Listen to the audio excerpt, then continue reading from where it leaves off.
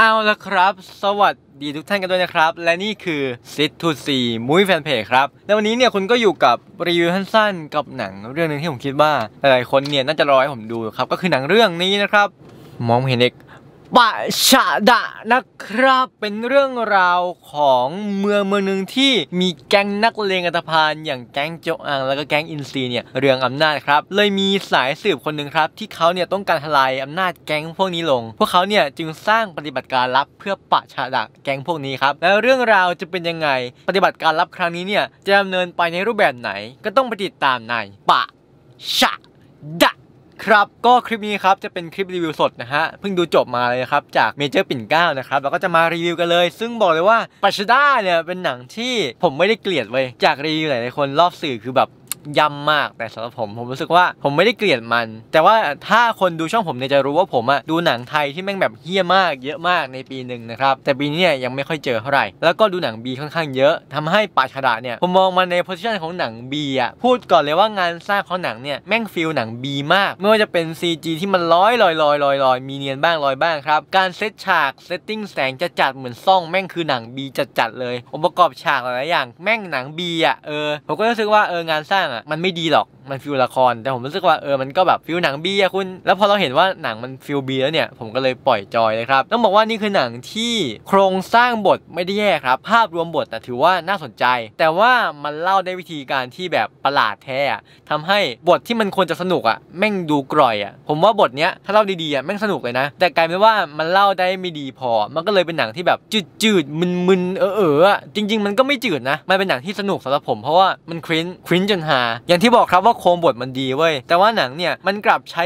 ความแบบดีของมันอะวัตถุดิบต่างๆ ที่มันมีอะผิดที่ผิดทางไปหมดเว้ย อะไรที่ควรอยู่องก์หนึ่งมันก็ไปอยู่องก์สามอะไรที่แม่งควรอยู่องก์สองมันก็ไปอยู่องก์หนึ่งอะไรเงี้ย ทุกอย่างมันดูสลับกันไปสลับกันมา วิธีการเล่าที่มันแบบพยายามจะให้ดูง่ายเป็นเส้นตรงแต่ในขณะเดียวกันครับด้วยความที่หนังมันพยายามจะหักมุมพยายามจะเก็บซ่อนความลับบางอย่างไว้อะมันก็เฉลยด้วยการ flashback ลับไปที่องค์หนึ่งใหม่ ซึ่งปัญหานั่นแหละครับ มันดูวกวนยอกย้อนอะ เออ มันดูวกวนยอกย้อนมากๆในหลายๆอย่าง แล้วผมรู้สึกว่าหนังเรื่องนี้อย่างที่บอกว่าอะไรอะไรมันอยู่ผิดที่ผิดทางเว้ย มันทำให้มันหา คือแบบมันมีความคริ้นสูงมากๆ โดยเฉพาะไดอะล็อกไดอะล็อกบทพูดคือแบบไม่ได้เลยนะครับ มันฟิลละครมาก แล้วคือบางทีอะมันเยอะเกินไป บวกกับการแสดงที่ผมว่าทุกคนอะไม่รู้ว่าเขารับบีบมายังไง แต่แต่ละคนอะแม่งแสดงแบบคนละธีมกันอะ พี่เต่าสมชายเงี้ยแม่งแสดงดุดุแม่งก็ดุไปเลย คุณก้องห้วยไร่อย่างเงี้ยแม่งมาดขึมๆก็ขึมอยู่อย่างนั้นอะคุณนุกอะผมดูเขาเล่นปราณีเขาก็เล่นดีนะมาเล่นเรื่องเนี้ยเขาก็เล่นโอเค แต่ว่าเหมือนเขาบีบไม่เหมือนกันนะการแสดงของแต่ละคนอะมันไม่เท่ากันเว้ยแล้วพอไม่เท่ากันอะมันก็กระโดดไปกระโดดมาทีเนี้ยมันก็จะประหลาดอะมันก็จะดูแบบเดี๋ยวนะมึงมึงมึงอยู่โลกเดียวกันหรือเปล่าอะไรเงี้ยมันก็ขำดีนะเออมันก็ฮาดีสำหรับผม แล้วก็ผมรู้สึกว่า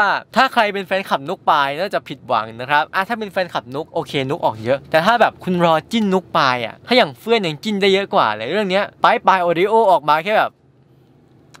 I can tell this is main character อะแม่งไม่ใช่ตัวละครหลักด้วยซ้ำอะคือแบบ ออกมาที่เดียวอะถ้าผมเป็นแฟนคลับนกปลายผมคงโกรธแล้วแบบกูอยากดูจิ้นนกปลายอะมึงทำอะไรเนี่ย แล้วก็ที่ผมรู้สึกว่ามันค่อนข้างจะเวิ่นเว้อมากๆ คือผู้หญิงในเรื่องนี้ หนังมันมีการพยายามใส่ตัวละครผู้หญิงเข้ามาสวยครับ cast สวยเซ็กซี่มีเสน่ห์อยู่ในซ่องอะไรเงี้ย ซึ่งมันเป็นตัวละครผู้หญิงที่เอามาใช้แบบไม่ค่อยคุ้มเท่าไหร่เลยตัวรู้สึกว่าแบบปูมาเข้าใจเข้าใจ มันมีการพยายาม flashback พยายามใส่ปมให้ตัวละครแต่ว่ามันมาในจังหวะที่กระชั้นชิดมากๆคือแบบ ตัวละครเนี้ย เล่ามาทั้งเรื่องไม่เคยพูดถึงมาเลยอยู่ดีมีปมเลยครับ มีปมกับพระเอกเลย flashback เล่าให้ฟังเลย มันก็จะแบบ what เออมันจะมีความอย่างนี้อยู่พอสมควรนะครับ ก็คือมันเป็นหนังที่แบบมันประดักประเดิดอะอย่างที่ผมบอกว่าองค์ประกอบมันดี คือผมว่ามันเป็นหนังมาเฟียเออด้วยความที่หนังมันเป็นหนังมาเฟียเว้ยเราเข้าใจว่า structure หนังมาเฟียมันเป็นยังไง มันจะมีการหักหลังมีเรื่องของแก๊งสเตอร์มีเรื่องของการปราบปราม อะไรต่างๆกันนะอิทธิพลการค้าอะไรเงี้ยมันมีองค์ประกอบพวกนั้นอยู่ เพียงแค่ว่ามันอยู่ผิดที่ผิดทาง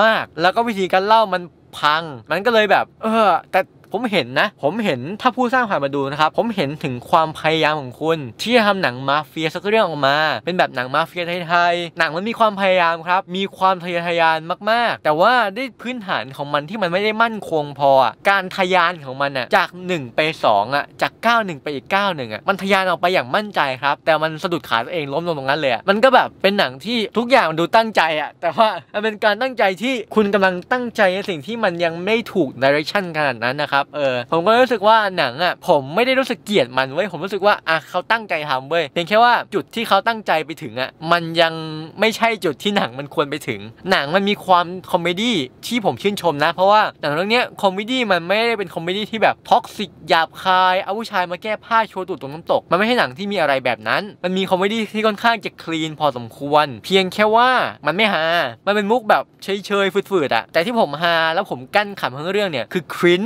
อย่างที่บอกว่าการแสดงมัน cringe มาก แล้วก็บท dialogue บทพูดคือแบบ cringe สะบัดนะฮะแล้วก็ scene action อะ พูดถึง scene action กันดีกว่า มันจะมีทั้งที่บอกมัน cringe มากกับที่ผมชอบนะครับ scene action ของปะฉะดะเนี่ย มันจะเป็น scene action feel แบบเหมือนองค์บากอะเหมือนหนังยุคนั้นยุคเก่าๆเลย วิธีการวางมุมกล้อง วิธีการดีไซน์ฉาก action ผมว่ามันดูดีนะ เพียงแค่ว่ามันอยู่ผิดยุค และมันถูกใช้ในบริบทที่อาจจะยังไม่ถูกต้องขนาดนั้น เข้าใจว่ามันจะมีการ cut ช่วยนักแสดง แล้วก็มีการใช้ slow motion มีการใช้แบบย้ำช็อตเหมือนแบบหนังองค์บากอะไรอย่างนี้เลย ซึ่ง มันก็ดูดีพอสมควร เพียงแค่ว่ามันดู cheap ไปสำหรับหนังฉายโรงครับ action ประมาณนี้เราพบบ่อยในละครนะฮะทำให้สำหรับหนังฉายโรงอะรู้สึกว่ามันอาจจะยังไม่เหมาะสมหรือเปล่าคืออาจจะต้องใช้เวลาในการขัดเกลาฉาก action มากกว่านี้ไหมอาจจะต้องใช้เทคนิคมากกว่านี้ไหมอาจจะต้อง casting นักแสดง training เขาเวิร์กช็อปเขามากกว่านี้ไหมเพราะว่าเนี้ยหลาย scene ครับมันดูออกว่ามันคือ action สลิงอย่างเช่นมันจะมี scene ที่นุกนพดลโหนเชือกออกมาแม่งแบบตียังไม่ถึงพื้นเลยเชือกแม่งหมดมือแล้วอะคือแบบ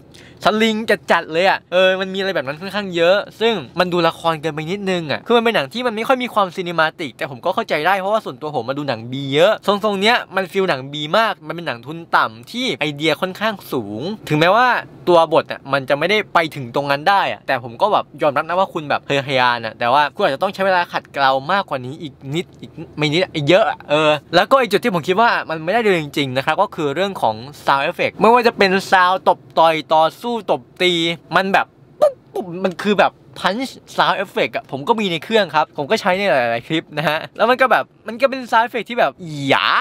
รวมถึงนะฮะ ทุกครั้งที่หนังพยายามจะตลกครับ มันจะมีการตบมุกด้วย sound effect แบบ YouTube อะเหมือนแบบคุณพิมพ์ว่าเอฟเฟกตลกรวมเอฟเฟกตลก 4,000 เสียงจาก YouTube อะมันมีอะไรแบบนี้ ซึ่งผมรู้สึกว่ามันไม่ใช่สำหรับหนังโรงนะครับ มันควรจะเป็นอะไรที่มันควรจะให้คนดูอะรู้สึกเอง ไม่ใช่ว่าแบบเอาซาวไปนำตลอดอะไรอย่างเงี้ยเออแต่อย่างที่บอกว่าผมมองว่าหนังเรื่องนี้มันไม่เลวร้ายขนาดนั้นโอเคละมันไม่ใช่หนังที่ perfect ครับหลายคนอาจจะถ่มถุยมันเพราะว่าทุกคนมองเป็นเอกฉันท์ว่ามันคือหนังห่วย production ห่วยบทห่วย การแสดงขัดขัดเกินเกินถึงแม้ว่านักแสดงจะเล่นได้เต็มที่แล้วก็ตามคือผมว่าหลายๆคนอะเขาเล่นเต็มที่นะคือเขาดูเป็นตัวละครนั้นจริงๆอะเพียงแค่ว่ามันผิดที่ผิดทาง ทุกคนเนี่ยก็แบบพร้อมจะยำตีนใส่มันอะคนที่แบบอาจจะแบบไม่ได้อะไรกับมันมาก แต่ว่าแบบเออหนังเฮียกูอยากตัดหนังเฮียอ้าวนี่ไงหนังเฮียผู้อื่นว่าเฮียเอากูก็ว่าเฮียด้วย ผมรู้สึกว่ามันก็ไม่ได้เลวร้ายขนาดที่แบบทำร้ายวงการขนาดนั้นอะมันเหมือนเป็นแบบเหมือนหนัง B ในอุตสาหกรรมหนังไทยครับมันก็ feel feel แบบ The Snake อะไรเงี้ยแต่ว่า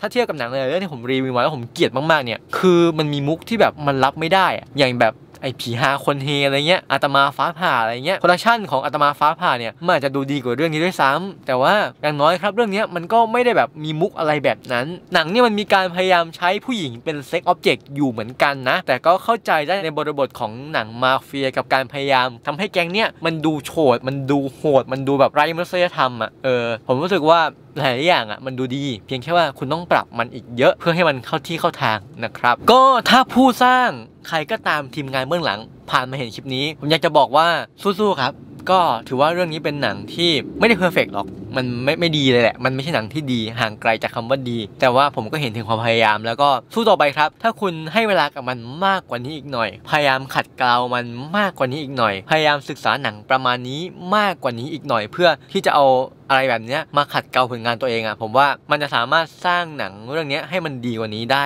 มากขึ้นแน่นอนครับ ก็สรุปง่ายๆโดยรวมครับสำหรับผมปะชาดะถือว่าเป็นหนังมาเฟียสัญชาติไทยที่มันมีความพยายามครับ มันมีความพยายามมันอยากจะก้าวกระโดดไปสู่จุดที่แบบเรียงไกลยิ่งใหญ่มาเฟีย แต่ว่ามันกลับสะดุดขาตัวเองล้มอยู่ตรงนั้น มันเต็มไปด้วยอะไรที่มันน่าสนใจนะองค์ประกอบภาพรวมบทมันน่าสนใจเลย แต่ว่ามันกลับจัดวางทุกๆอย่างอะได้อย่างผิดที่ผิดทางครับ ทั้งเรื่องของการแสดงที่มันไม่เข้ากันองค์ประกอบฉากที่มันตีกัน การเล่าเรื่องที่มันพังทลายย่อยยับทำให้ทุกๆอย่างมันออกมาคริ้น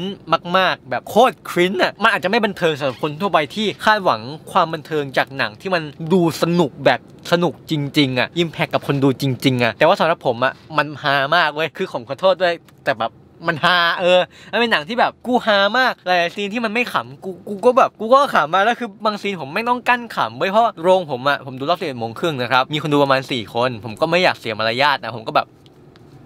แต่บางซีนก็แบบ ออกมาได้อะคือแบบไม่ได้ตั้งใจหรอกมันจะมีแบบมุกบางมุกที่แบบ เราก็ขำแบบ ขำแห้งอยู่เหมือนกันนะขำแห้งเสียงดัง อะไรอย่างเงี้ยเออก็ถือว่าสำหรับผมอะมันก็บันเทิงดี ถ้าคุณเป็นคนที่ดูหนังที่มันเลวร้ายอะหนังแบบหนังไม่ดีอะให้มันฮาได้อะหนังเรื่องเนี้ยแม่งโคตรตอบโจทย์เลยเว้ยสำหรับผมแม่งเป็นหนังที่แบบแย่จนฮาเออก็สำหรับปาชดะผมไม่ได้เกลียดครับ ผมให้คะแนนไปที่ 5 เต็ม 10 จากทางเราครับ อย่างน้อยก็คะแนนเรื่องของความบันเทิงของมันนะ ผมก็บันเทิงจากมัน แล้วก็เห็นความตั้งใจ เห็นองค์ประกอบต่างๆ ที่หนังตั้งใจใส่เข้ามา รู้สึกว่าหนังมันก็บันเทิงดี แต่บันเทิงไม่ใช่ในแง่ดีนะครับ ก็ถ้าใครที่ดูมาแล้วคิดเห็นอย่างไรเนี่ย ก็สามารถมาคอมเมนต์แลกเปลี่ยนกันได้ที่ใต้คลิปครับ ส่วนถ้าใครที่ยังไม่ดูเนี่ย ปะชาดะฉายแล้ววันนี้ในโรงภาพยนตร์ครับ และที่สำคัญนะครับ หนังเรื่องนั้นเนี่ยจะดี จะแย่คุณอย่าเชื่อผมนะครับ เพราะว่าหนังแต่ละเรื่องเนี่ยมันทำงานกับคนแต่ละคนไม่เหมือนกันครับ ดังนั้นหนังจะดีจะแย่ คุณต้องเป็นคนตัดสินมันด้วยตัวคุณเองครับ และนี่คือ Sit to See Movie Fan Page สวัสดีครับ อ๋อลืมพูดอย่างหนึ่งนะครับ อยากพูดหน่อยก็คือ หนังเรื่องนี้มันมีการดีไซน์ตัวละครที่มีความติดกลิ่นความเป็นซูเปอร์ฮีโร่อีอยู่เหมือนกันนะ เหมือนแบบมือปืนโลกพระจันทร์อะไรอย่างเงี้ยแต่ว่ามันยังไม่ชัดขนาดนั้น ผมคิดว่าถ้าคุณเพิ่มลูกเล่นตรงนี้เข้าไปอย่างเช่นที่เห็นตอนนี้ก็คือกล้องห้วยไร่เขาจะใช้ระเบิดนะฮะแล้วก็ตัวละครของปลายปลายโอริโอเขาจะใช้แบบเหมือนมีดนินจาอะไรเงี้ยนี่สองคนยังไม่ค่อยชัดนะครับถ้าคุณเพิ่มตรงนี้เข้าไปให้มันมากกว่านี้มันจะน่าสนใจมากขึ้นอืมก็ประมาณนี้ครับและนี่คือซิตูซีมูฟแฟนเพจ สวัสดีครับ